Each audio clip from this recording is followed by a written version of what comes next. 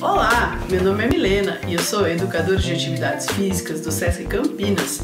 Você conhece a modalidade ginástica rítmica?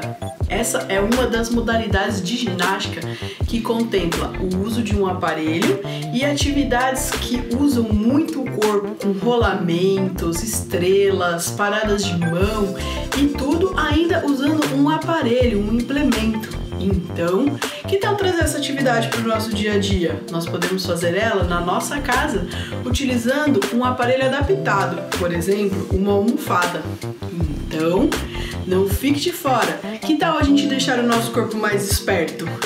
Eu vou desafiar você a fazer uma mini coreografia, já que a ginástica rítmica envolve música, você pode escolher uma música aí na sua casa e fazer uma pequena coreografia utilizando a almofada, jogando a almofada para o alto, equilibrando essa almofada na cabeça, explorando as diversas capacidades que nós temos de brincar com uma almofada.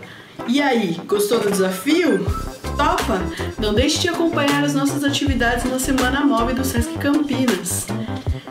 Um beijo, até logo! Tchau, tchau!